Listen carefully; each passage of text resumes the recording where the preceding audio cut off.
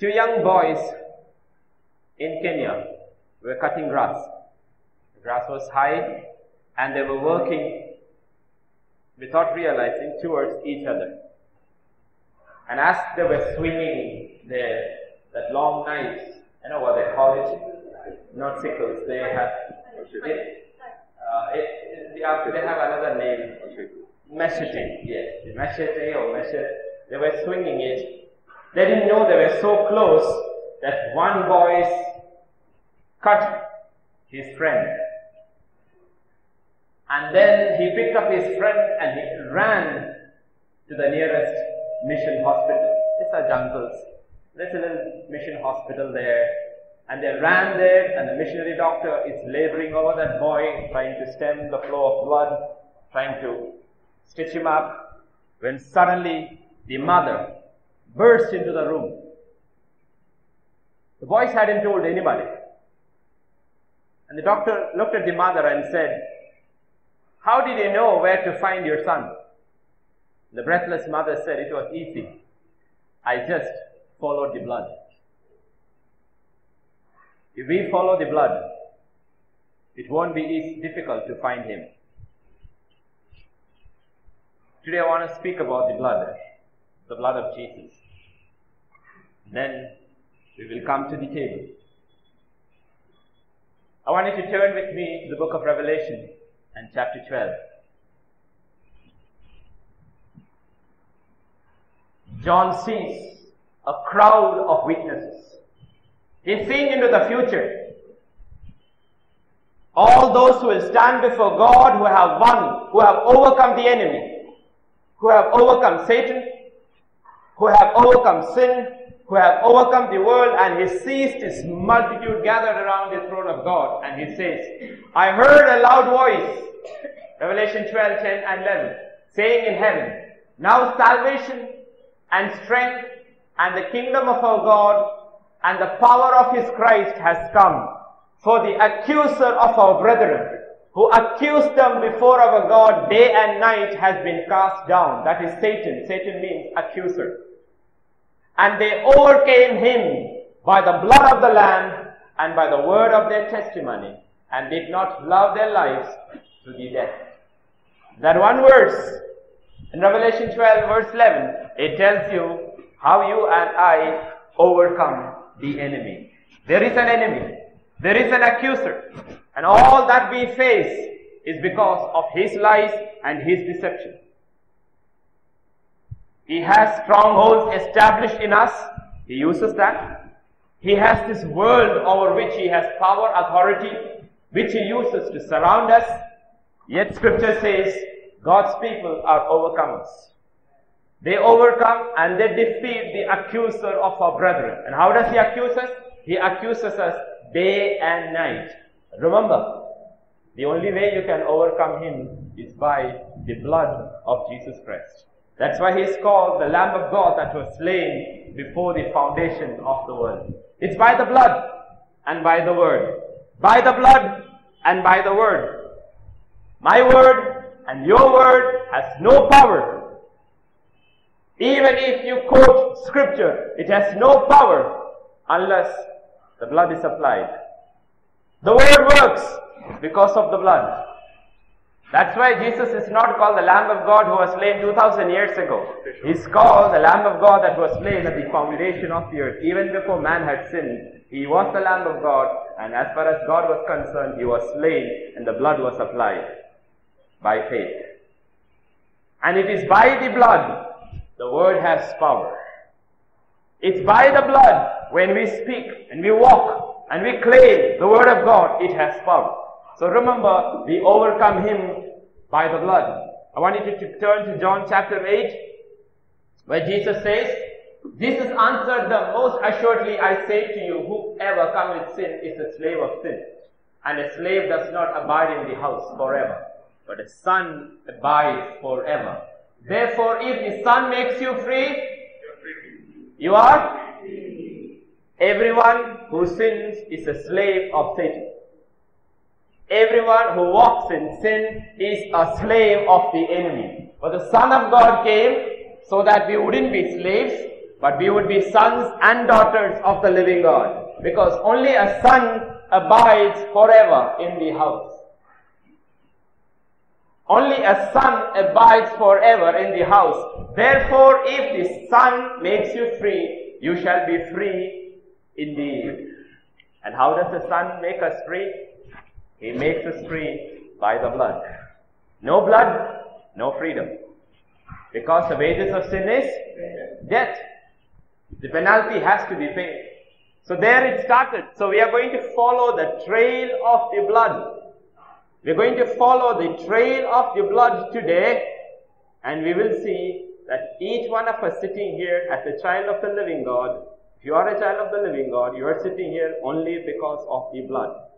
And we need to learn to believe, apply, and appropriate the blood on every area of our life to walk in victory. Because the enemy is not scared of anything but the blood of Jesus. He flees before the blood. So we are going to look today at the blood of Jesus. In Genesis chapter 17, after a silence of 13 years, God appears to Abraham. Abraham had walked in the flesh, and when you walk in the flesh, you sin. When you walk in the flesh, we create a Ishmael. He was not asked to create an Ishmael. He was asked to create a Isaac. Isaac is of God. It is born of God. It is a spiritual of, offspring. Every fleshly offspring is an Ishmael. All of us are called to walk by faith and then what the Spirit of God does through us is Isaac, not Ishmael. Ishmael, when we create Ishmael, we sin and there is a silence from God. For 13 years, God did not speak to Abraham. Because if you look at, you don't have to turn, the previous verse you will see when Ishmael was born, Abraham was 86 years old. And chapter 16 ends with that. The next time God comes to Abraham, he is 99 years old. And God tells Abraham, we need to do something. You are the father of believers. He appeared to Abraham and said, I am the Almighty God, walk with me and be blameless. And I will make my covenant between me and you and will multiply you exceedingly. He says, we need to make a covenant. God had in Genesis 15, if you know, made a covenant with Abraham. And if you remember, he put Abraham to sleep and he did not make Abraham be partaker of that covenant in the sense Abraham didn't have to do anything. It is God alone who walked between the blood. But now he tells Abraham, you have now to shed blood to become part of the covenant. Now the shedding of blood is not from God, it is going to be from Abraham. And in chapter 17, circumcision is instituted. When circumcision is instituted, the shedding of blood is by man. And then the covenant is ratified. What is God telling?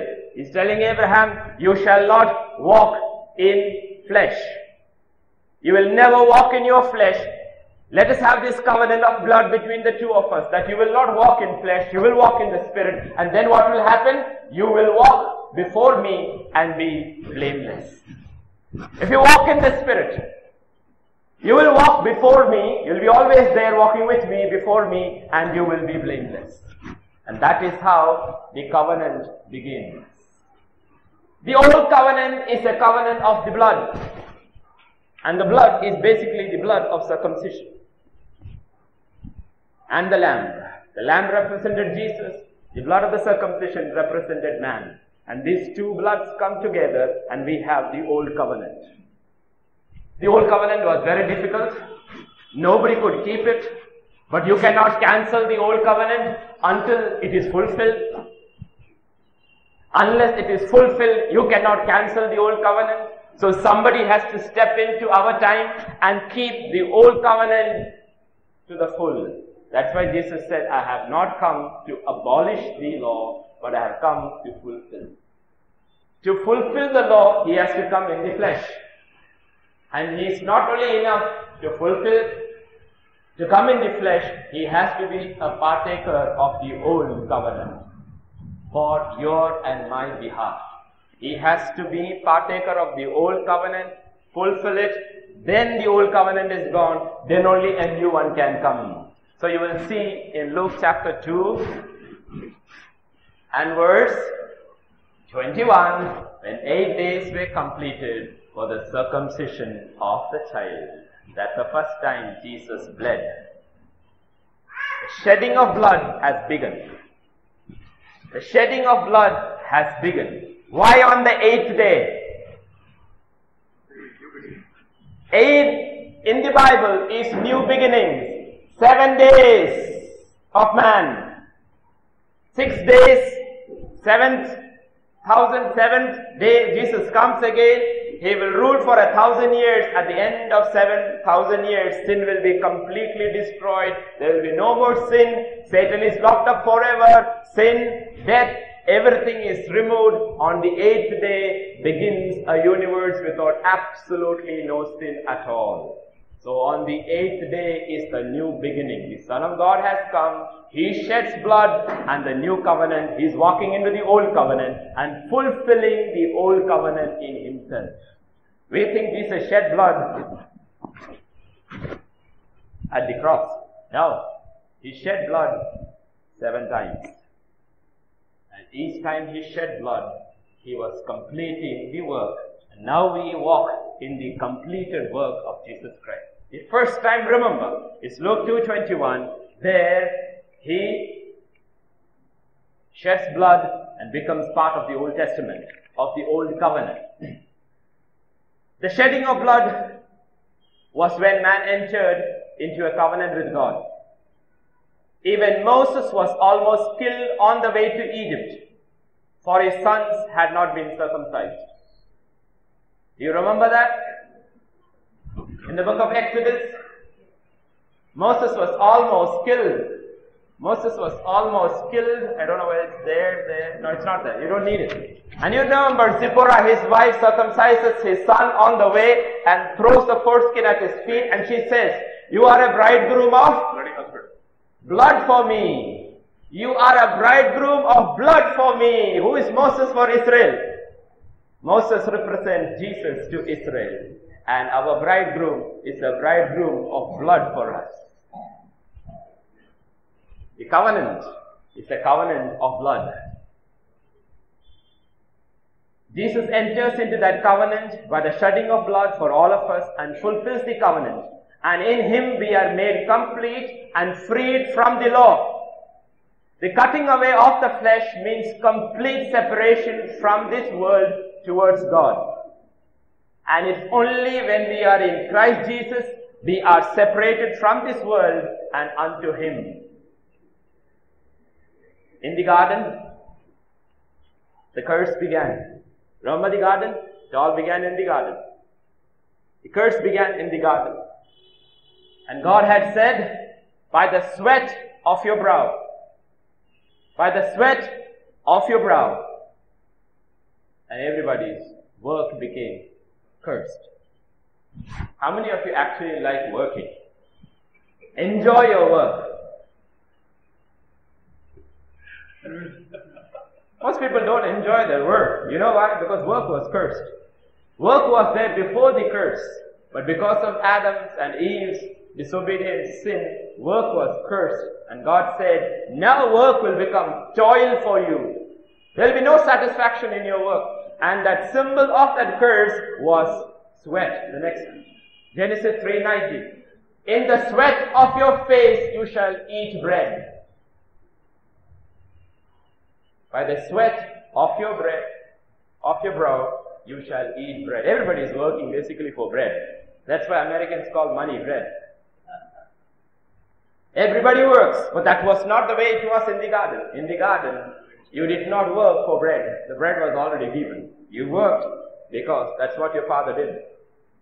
You didn't have to work for your bread. Now work is cursed and everybody is under that curse. Everybody, whole of humanity is under the curse. So it doesn't matter how much or how well you have worked, nobody has satisfaction. Everybody is miserable. Everybody is miserable. And then God comes in the flesh and he begins to work.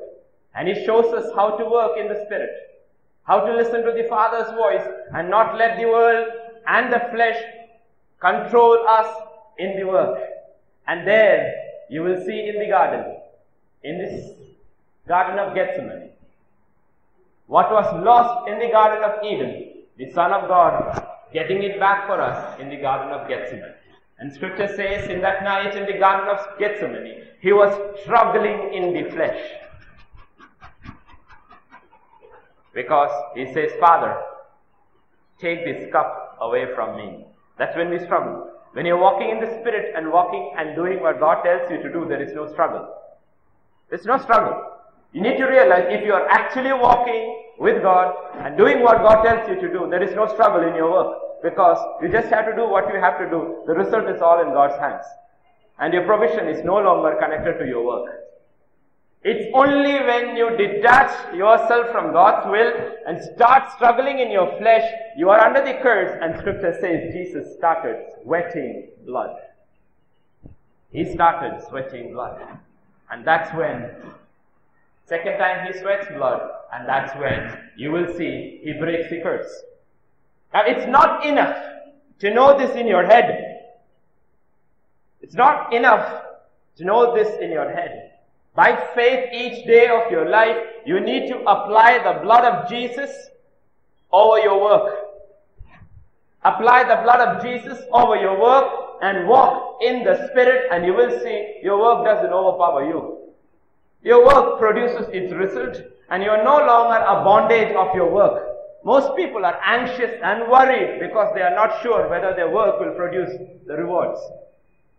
That's why in the new covenant Paul says Paul plants, Apollos waters, but God gives the increase. Therefore the one who plants and the one who waters is nothing. The God who gives increase is everything. He says, I'm not worried about the increase.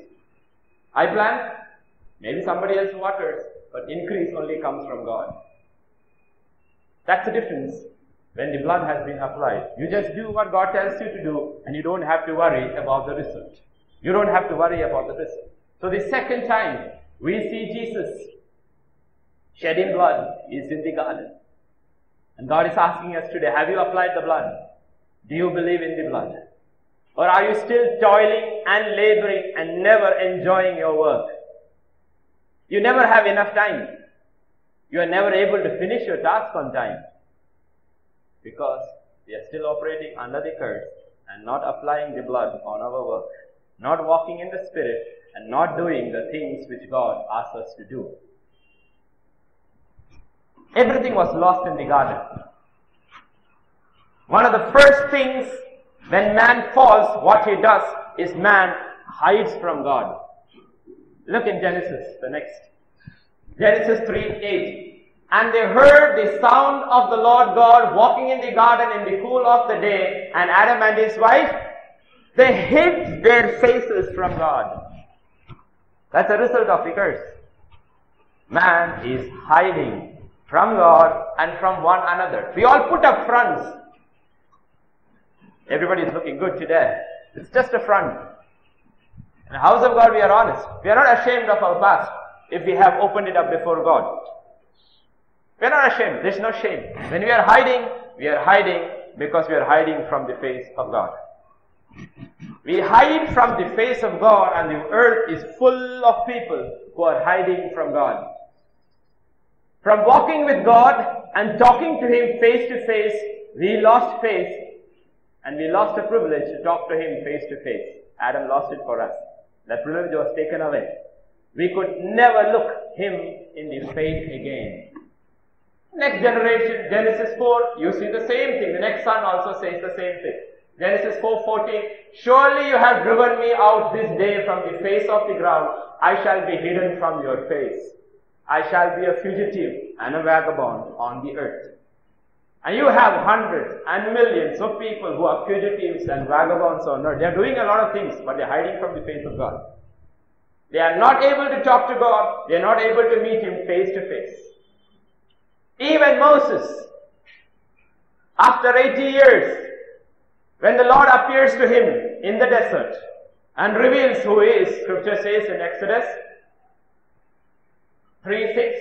Moreover, he said, I am the God, your father, the God of Abraham, the God of Isaac, and the God of Jacob. And the next thing was that does is he hides it, hides his face. Oh, how we longed to wish to look God in his face. To be able to face God. And Jesus got that privilege back for us. Consumed by shame and fear, man has been hiding his face from God and one another. So we put on a face. Even when we put on a face, we are actually hiding our face from God. So it says in Luke chapter 22,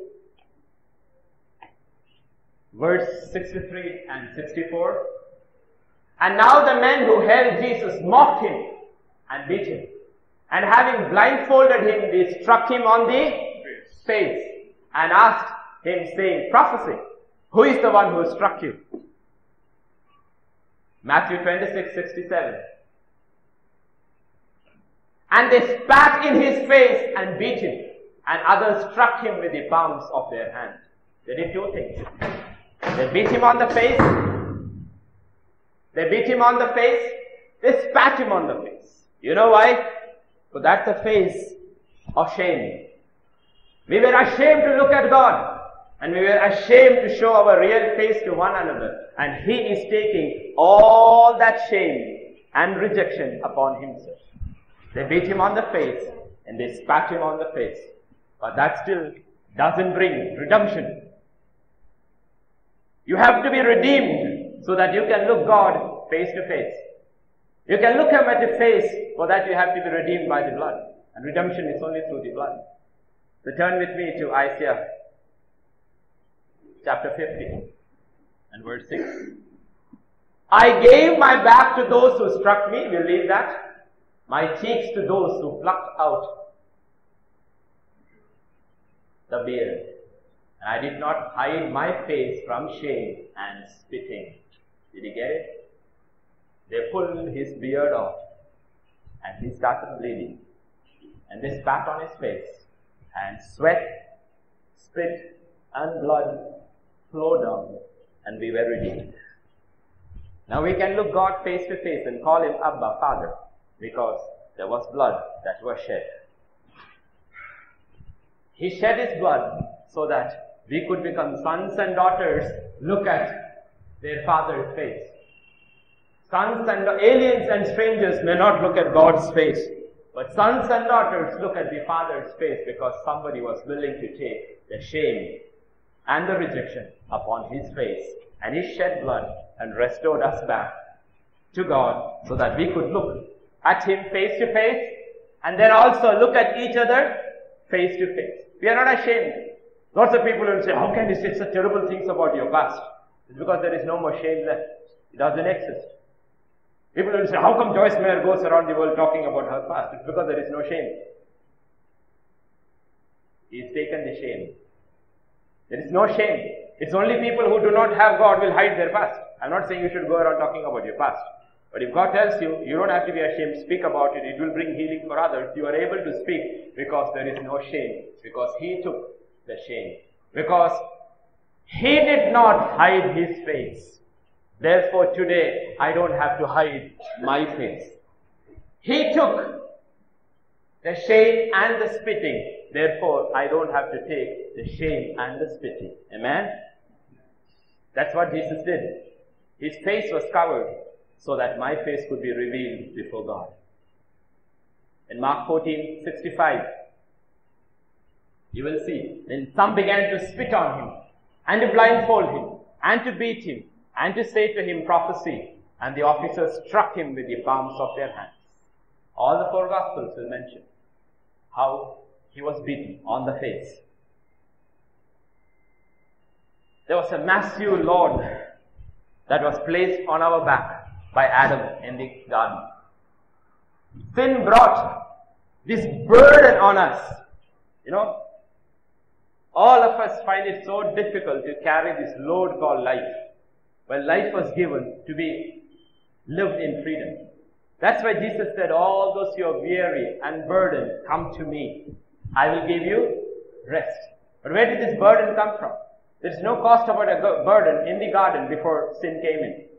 The burden came in. You know why? Because of sin. And sin has put this weight on our backs. Everything connected with life becomes a burden. People study and their studying is a burden. They think if I get a job, I'll be free. They get a job and they find job is a burden. Then they think if I get married, at least I will share my burden. They get married and find marriage is also a burden. Then they think maybe a child will come and the child will free me of this burden. The child comes and your burden gets added to. Then you think if the child grows up, I'll be re- relieved of this burden. The child grows up and adds more burden to your life.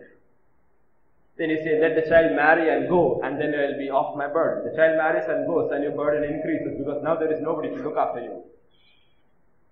The burden never goes. We carry this burden. Our minds are burdened, our spirits are burdened, and our bodies are burdened under the weight of sin. And in Psalm 38 and verse 4, the psalmist says, for my iniquities have gone over my head, and like a heavy burden, they are too heavy for me. We don't realize the burden is not because of what we face. The burden is because of our sin, our iniquity, and our transgressions, which are on our back. They are on our back, and they have become so, so heavy. So God says in Isaiah 53, verses 4 to 5. Surely he has borne our griefs and carried our sorrows. Yet we esteemed him stricken, smitten by God and afflicted. But he was wounded for our transgression. He was bruised for our iniquities and the chastisement of our peace. When the burden is lifted, what do you get? You get peace. And by his stripes, we are healed. Next time he sheds blood is when the scourge is back they scourged his back and put the whole burden of sin, the whole burden of life on his back so that we could walk free. That the next time he sheds blood. Therefore, Psalm 55 and verse 22, God will say, Cast your burden on the Lord and he shall sustain you. You don't have to carry the burden anymore. The burden of sin, the burden of iniquity, you and I do not have to carry anymore because somebody carried it for us. And you need to believe and you need to apply the blood. That's when the healing comes. Healing is threefold. Healing is in your soul, healing is in your spirit, healing is in your body. And that's why the healing there mentioned in Isaiah is threefold healing. And it came when his back was broken and the burden of iniquity was lifted. There he's, he's broken and he's bleeding and we are set free. And only Jesus could carry that weight of humanity and he did. And we are following the trail of blood. Circumcision, sweat, the face, and the back. You need to realize he is restoring one by one things back. He is entering into the law because the law cannot be cancelled until it has been fulfilled.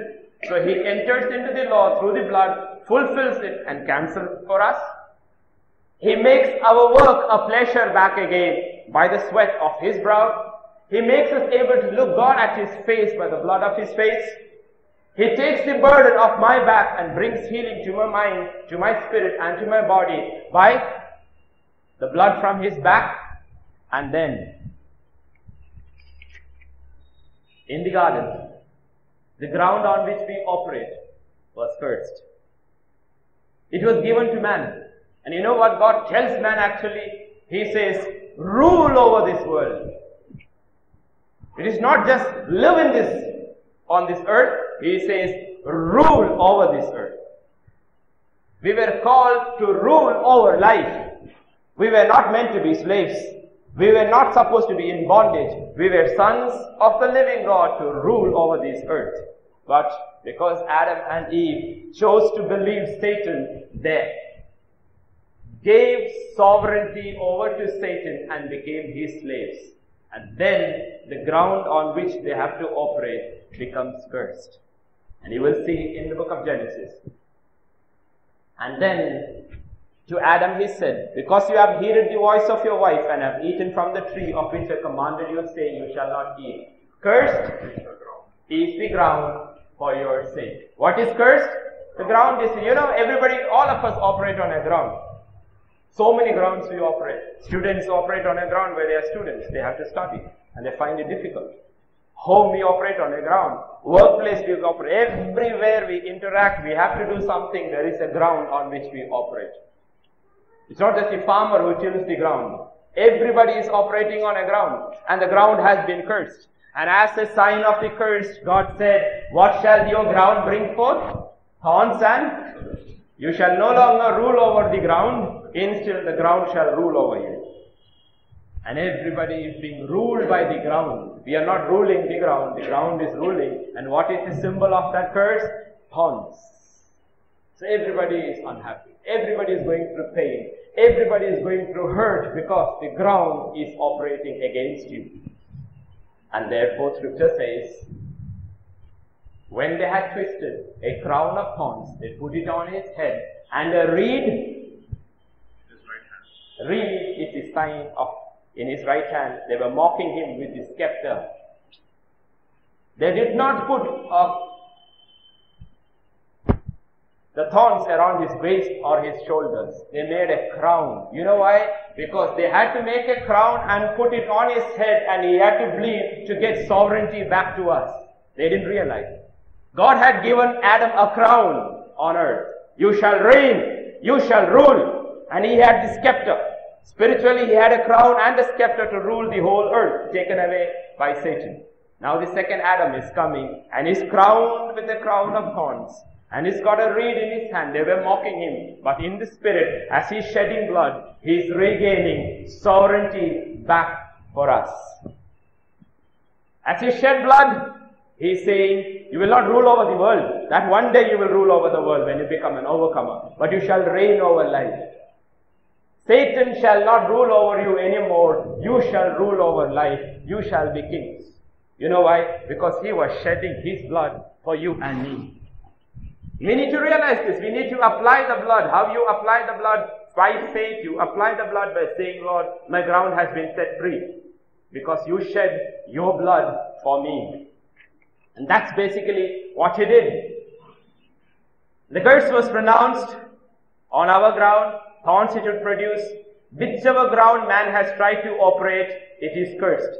The home, the field, the office, the government, you could be the most successful person in history, but realize a little later it has got no meaning. You remember the most successful person in the eyes of the world was Alexander. Because at the age of 33, there was nothing left for him to achieve. He had conquered the known world at the age of 33. Yet when he died, he made a statement to his generals, when you take my dead body, leave my hands out of the coffin, so that the world will know I achieved nothing. You know why? Because you can achieve everything in the flesh and find your ground has been cursed. It will not bring you any satisfaction.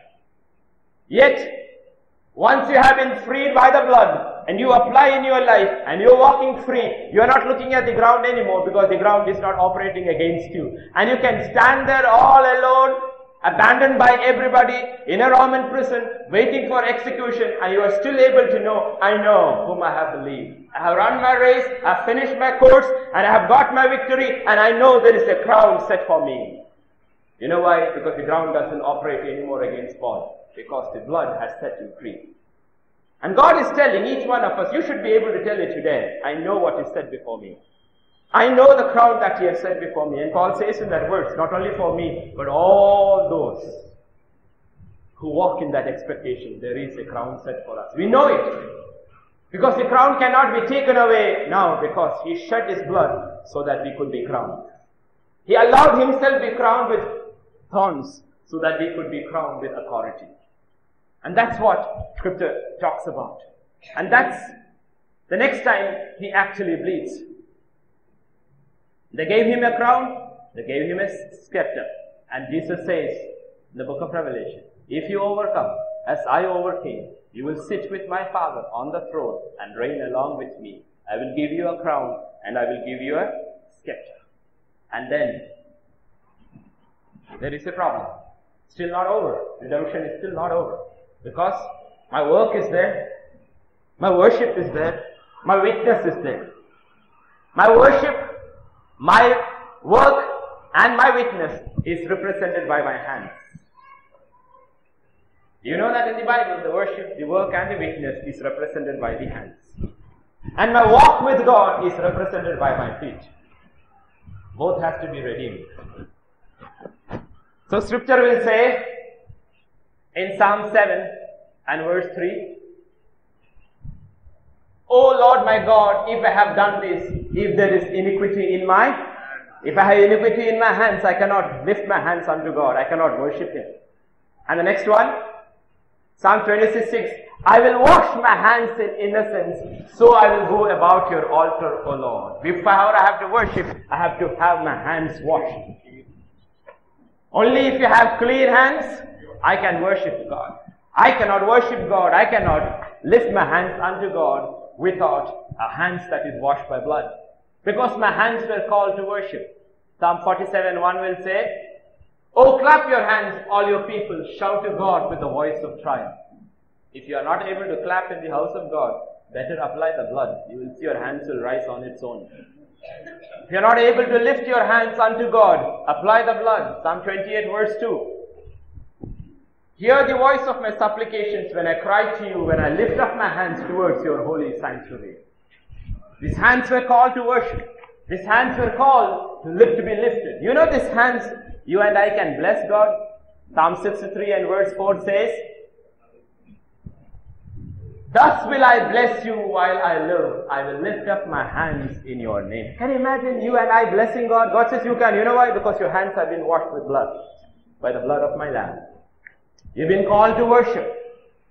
You've been called to worship. You've been called to bless God. You can bless me back because you know what? You are my son. Don't parents, when they grow a little older, get blessed by their children? Do they? If you know the story of Joyce Meyer, abused by her father, all that mess she went through, when her father grew old, what did the Lord tell her? Get a house for him. You got a house for him. Take care of him. Do care of him. No, he didn't. That's not your business. You bless your father. Bless him. Did she bless his father? She blessed her father. And then one day, he accepted the Lord, and she and Dave baptized him. You can bless your father. God is saying, you can bless me. I don't need anything from you, but you can still bless me with your hands. You can lift up your hands and bless me. He is our father. But before I can bless my father and worship him, my hands have to be washed. He has to establish the work of my hands. Otherwise, my work has no meaning at all. Psalm 19 and verse 17 will say, And let the beauty of the Lord our God be upon us, and establish the work of our hands for us. Establish the work of our hands. After I worship, I start working. But if I work, I have to do His work, and He has to establish the work of my hands.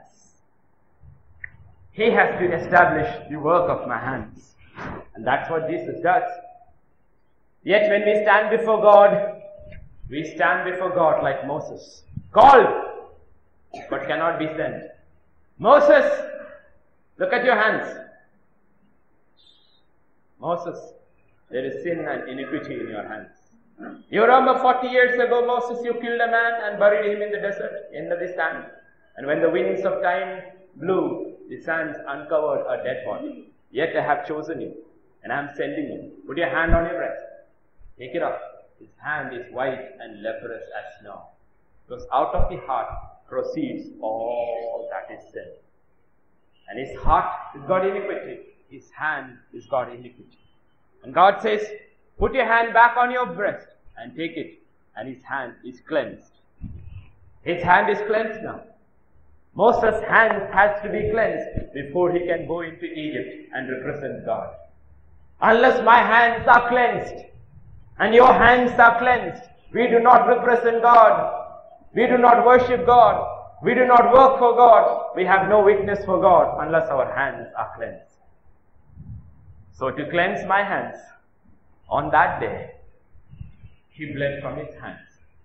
When they nailed his hands onto the cross, he was setting your and my hands free to worship him, to work unto him, and to witness for him, not for any other purpose.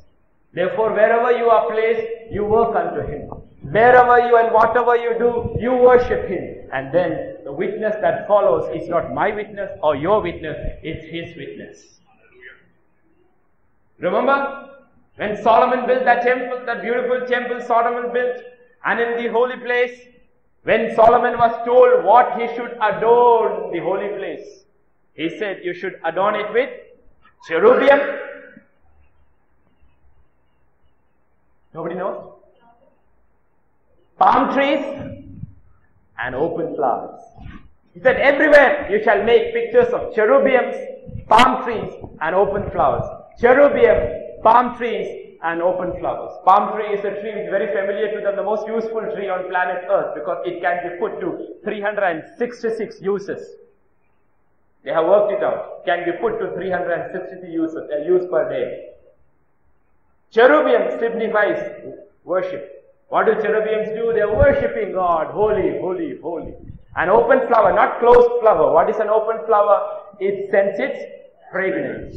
Cherubim, worship, palm tree, work, open flower, witness. And today we are in the house of God. We are the temple of God. And in the temple of God, what should arise from this temple? Worship, work, and witness. Don't change the order. Worship, work, and witness. It will be an open flower, not closed flower. It will be an open flower. And that's what Jesus did. He released us and made us his temple so that out of the temple will arise worship and work and witness. That happened when his hands were nailed to the cross. And then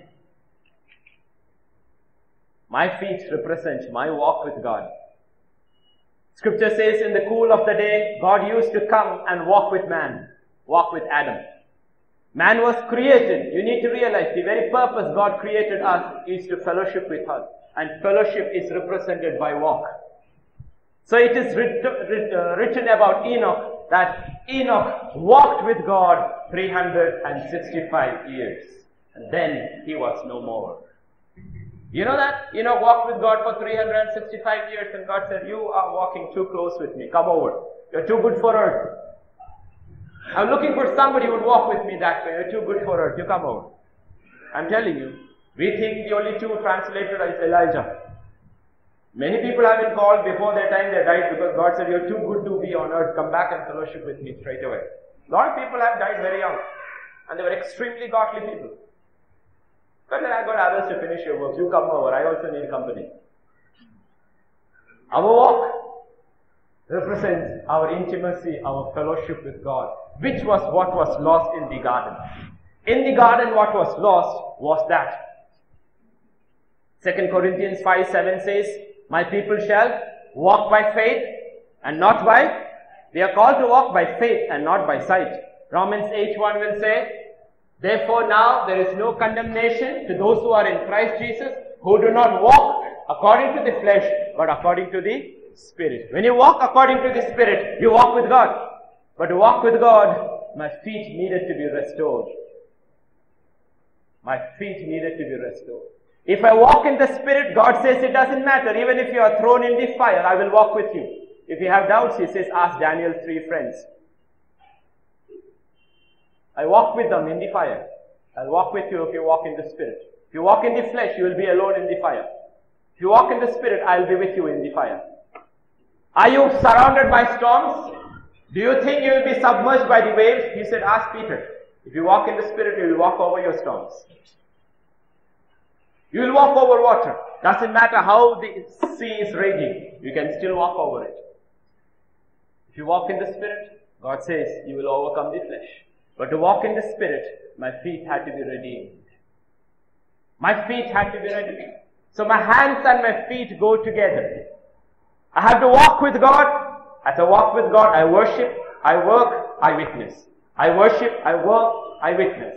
My hand and my feet go together. So to redeem my fellowship with God, my walk with God, his feet was nailed to the cross and he shed blood. And that blood redeemed our walk with God. Now man can walk with God. So you see the new covenant people were different from the old covenant people. They walked with God. They were not worried. They were not scared. They did not run away like Elijah ran away from Jezebel. Paul did not run away from the prison in Philippi. He clapped and he sang and he danced. You know what? Because he's fellowshipping with God over there. The walk has been restored. Worship has been restored. God said, I'm raising up a new set of people who will worship me in spirit and in truth. So six times we have seen Jesus bled. Hand and feet go together. That's not enough. Is that all God called me for? To walk, to work, to witness? Okay, sounds good. But God said you haven't still understood what you are to me. We still haven't understood what we are to Him. So there is Jesus on the cross. And He goes to sleep. Sleep in the word also signifies death. Because 2000 years earlier, God had put Adam to sleep. And he had opened up his side and took a rib out and made the woman out of it and given that woman to Adam. Adam looks at the woman and he says in Genesis, Bone of my bones and flesh of my flesh, she shall be called woman, because she was taken out of man. Therefore man shall leave his father and mother and be joined to his wife, and they shall become one flesh. They were both naked, and man and his wife, they were not ashamed. There was nothing for them to be ashamed of because they were absolutely open and transparent with one another. Man looked at this woman who was taken from his side and he said, Bone of my bones, flesh of my flesh. For this reason, I will leave my father and mother and I will cleave to you. And on the cross, when he was lying there on the cross, he also went to sleep for a season. Adam woke from his sleep. Jesus also woke from his sleep. It was not an eternal sleep, it was a temporary sleep. But when he went to sleep, a Roman soldier came, took his spear, and pierced his side, and from his side out came blood and water, and his wife was born. You need to realize when he looks at you and me, he says, flesh of my flesh, bone of my bones. For this reason, I left my father and I cleave to you. For this reason, I leave my father and I cleave to you. For this purpose, I leave my father and I cleave to you. So the scripture says, in the gospel according to John chapter 19 and verse 34, but one of the soldiers pierced his side with a spear and immediately blood and water came out. What came out? Blood and water. And 1 John chapter 5 verses 6 to 8 says, This is he who came by water and blood. Not by water alone, and blood. Jesus Christ. Not only by water, but by water and blood. Nobody should forget. He came by water and blood, and it is the Spirit who bears witness, because the Spirit is truth. For there are three that bear witness in heaven, the Father, the Word, and the Holy Spirit. These three are one. But there are three that bear witness on the earth. The Spirit, because unless you are born of the Spirit, you are not a child of God. And when you are born as a Spirit, on the Spirit, then the water and the blood agree that you cleave to Him. That you are the flesh of His flesh and the bone of His bones. That's what happened. It's tough to believe. That's what salvation is all about. Salvation is not about going to heaven one day and let me have a roaring time on earth. Salvation is separating and being one with Him. Because He says, that's how I look at you. This is why I shed my blood so that you could become one with me. And when He, Adam and Eve were naked and they were not ashamed. When you are born from His side, you can look at Him and you are not ashamed. You are not ashamed. There's nothing to be ashamed of. He's covered you. You're born of Him. He cleaves to you and you are not ashamed. This is what the blood does. Do you believe? We've been hearing the word for, we've been hearing the word for ages. We've been hearing the word for ages. We're a small church. It's not enough to hear the word. We need to believe. We need to believe. Yes, yes, yes. We need to believe. Don't read that now. We need to believe in the blood. We need to believe in the blood. We need to believe that the word, what he says, is true. The wife, we need to believe whatever my husband says is true. He will not lie. You know why? I can believe His word because He died for me. That's enough. Very rarely will a husband die for his wife. But here is a husband who died for his wife. And I can believe it. And if you believe, Jesus said, all things are possible. We are a very small church. You know, we are a very small. Church. And I want as a church, we together make a church. I am not the church, you are not the church. We all together make the church and He is the head. The body does what is pleasing to the head. We are a very small church, a very poor church. In the eyes of the world, we are a very poor church. What is our worldly possessions? 50 chairs, 10 pieces of cloth called curtains, one keyboard, the, the guitar and the violin belongs to the owners, an LCD projector. Our worldly belongings can be put in a trunk.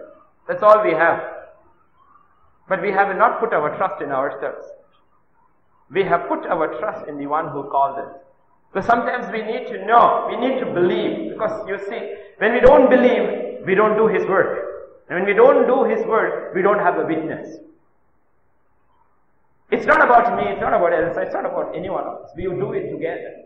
The ones who come to clean the hall, the ones who clean the bathrooms, the ones who dust the chairs, the ones who put things up, the ones who serve, Rishi who does the recording, the setting up, all that, all that is part of it. We don't need technology, we don't need any of these things. A simple little thing like an MP3 player, we don't have any sophisticated stuff, but God is just looking into our hearts. Do you believe? Do you love me? And He will take that word of His from this and take it to the ends of the earth. I want you to read this letter along with me from the chaplain of a prison in America or with over 3,000 inmates. Do you see that letter? It's a beautiful letter. Dear James, it's not about me, okay, it's about him. Greetings in the name of our Lord and Savior. Words cannot express how grateful I am. Your messages were sent well on time. His timing is perfect. His thoughts are not our thoughts. His ways are not our ways. I thank God for Mrs. Lewis. Mrs. Lewis is our sister Elsa. Has a burden for prisoners and she has been anointed to preach the good news to the poor and set the captives free. I wish to give you the names of the prisoners who are requesting to visit India to serve God as a missionary. The praise and the glory goes to our God and Savior, Mr. Sidney McFarland, Mr. Joseph Brown, and Mr. Paul Simons. Now listen to this. These three men have done over 20 years in the prison. They were very bitter and angry and carried this around for years. The first CD we heard was Sin, Iniquity, and Transgression. Inmates repented, turned their life around, and started praising God for the truth that has set them free. The next CD was about Christmas. It was three part, and that was the icing on the cake. It helped tremendously. A lot of questions were answered. We listened to one CD twice in a Bible session. I have given them special permission to listen to the CDs in the prison library. I can see the change. And when the prisoners are at peace with God, it makes the officer's job easier and they are not so hard on them. I thank God for the next set we received from you, the Joshua series, which is also a great teaching for beginners. After repenting, the three inmates went to court. The court date was not till 2010. They were woken up at 5 a.m. to their surprise and to let them know they had court. They went there a little flustered, but at the same time with peace, reciting the prayer you say every Sunday from Ephesians 1 17 to 19. That's why we went back to that prayer. God said, You don't cut my prayer out. All three of them were released. No parole, no probation. Mr. Sidney McFarland asked the court if the judge would grant him an issuance of a passport. The judge agreed for not only a passport, but recommended that he work in a half house, halfway house as a counselor. So all three of them had favor all around. It's very hard for prisoners to get a job, but all of them are working within two days of their release. Praise God. These three men were men of God, called and appointed and anointed. They were preaching the word of in their units and conducting Bible studies as well. Praise God. Some of the prisoners would like to send you a donation for the CDs to your ministry. Can you receive a transfer of foreign funds? I've written no. Please let us know. Thank you for your blessings. We've been praying for your church. Mrs. Lewis is a blessing to so many of us. You're blessed to have a member like her. She's tough on herself and tough on the inmates. All glory goes to God and we will celebrate that Jesus is alive. I must mention here, did Mrs. Lewis tell you she was nominated Best Counselor of the Year for three years back to back for her compassion, dedication and commitment towards the inmates? The award was given to her by our governor, Pataki, a few years ago. She carries her anointing everywhere she goes. God bless her and more importantly, God bless you and your church. When you do visit us here in USA, please allow me to take you to dinner and schedule a day for the prisoners as they would like to put a face to the preacher. Do you have a website? Mrs. Lewis says you are a very tough teacher like her teacher Reverend Sharon Austin. She says he lives up to his teaching and he walks the walk. I thank you for your love and compassion. You do have a passion. We live all that. We truly appreciate you and your message. Keep the faith and remember, you have a family praying for you and your family on this side of the globe. Have a blessed and peaceful week. Can we all get your teaching from now on? Thank you. Do you believe God can do? It's because of the blood. It's got nothing to do with us. It's His blood, it's His word. They overcame Him by the blood of the Lamb and by the word of the testimony. Three people, 20 years in prison. And you know what? Last night, this had gone into my spam.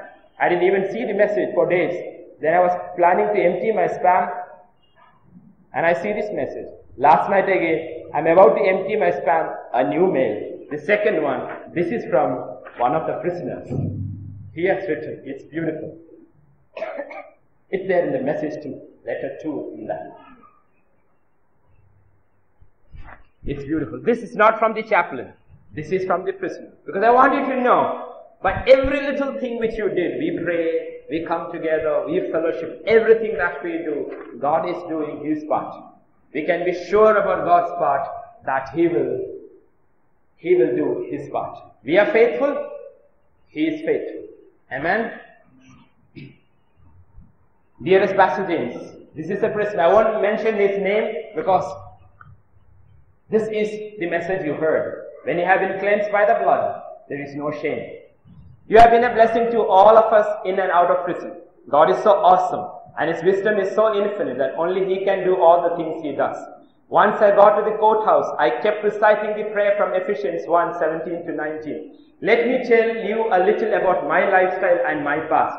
I was known as the big wig in the world of drugs. I pleaded guilty to a life sentence. I was raised up in a Baptist church in Alabama, real country town lived with different women and had children by all of them. I know I have four, but I'm sure I have more children out there. Traveled everywhere in the States and lived in a world where I always had to watch my back. It was not easy. I walked around mad at God and mad at myself and the world. So each time I got mad, I carried a weapon and would scare the people away from me by misusing my manhood and my weapon. I met this young lady in prison who came with another sister to share the word of God. I had no clue who she was. All I knew that she was a no-nonsense lady. Her approach was humble, yet she was very tough with us men. I asked her one question. Has God forgiven me? And she said, have you repented, brother? And are you sick and tired of being sick and tired? And I said, yes. She said, godly sorrow is not just crying because you are locked up and embarrassed about your situation. Godly sorrow is true repentance, turning from your old ways and change of mind, change of desire and change of plan. She gave us all the teachings on repentance and she left. She was from Westchester County LTD Ministries Church in New York. I had no clue this was the same lady who went to be a missionary in India. We all thought she was from Puerto Rico. And even I thought Sister Elsa was Hispanic. Father Paul told us it was Mrs. Lewis and I freaked out, could not believe it was the same person when we started receiving our CDs from India.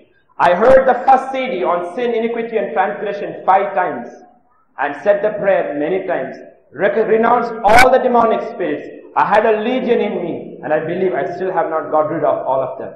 I do not know, I do not believe Mrs. Lewis will remember me as they meet so many of us with almost the same questions. When you see a good looking woman in prison and the way she conducts herself as a Christian, it leaves an impression. She is a praying woman and she keeps it real.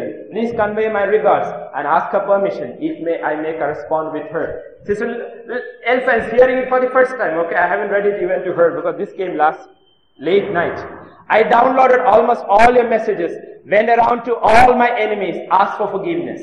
And also from my children's mamas.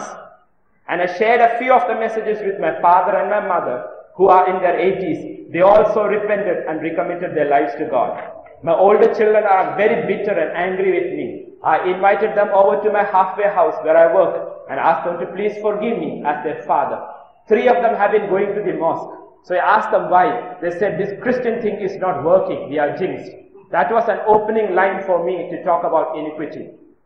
We finally cried, prayed together as a family, we hugged, we all repented. And my oldest son listens to your messages on the net and he has passed them on to some of his friends at work and college.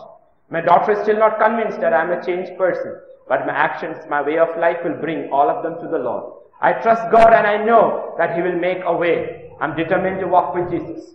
All glory and honor and praise go to the Most High God, the God who reigns, and the God who is so merciful and compassionate our everlasting Father, our wonderful Counselor, our Prince of Peace. Once God gives me the opportunity and He opens a door for me, a few of my brothers out here, we will visit your church and LTD Asia. Pastor James, if there is anything we can do from here, please do not hesitate to ask. I will even clean your bathrooms. We must start from the bottom to reach the top in the ministry. We do it all for the glory of God, not for name or fame. My phone number is 6. Okay, leave that. Don't call him up. Okay, please. Thank you for your kindness and your zeal for the Lord. May your, may God bless you and your church and your faithfulness to his calling. Please keep in touch when time permits. Your younger brother in the Lord. I won't tell you her name because you shouldn't feel embarrassed when he comes over here who he is. You know what? The blood works.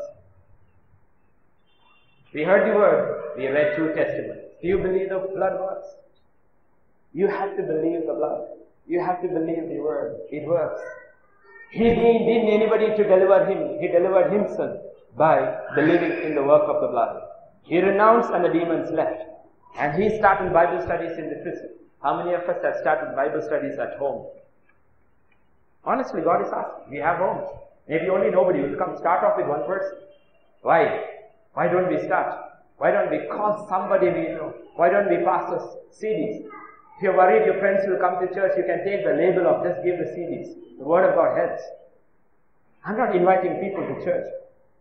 We don't want the church to grow, we want the kingdom to grow. We want people to be delivered. 20 years in the prison. Because so many, so many are living in prison walls inside. You need to come out. The Word of God works. The Word God heals. The Word delivers. I, I was so touched. I was so touched when I looked at this man and saw his passion. Because I need a few people to clean my bathrooms. Honestly. Because last evening I cleaned the bathrooms in the church. And I went back home, I realized I got no problems. And then I see somebody volunteering to clean the bathrooms. Amen?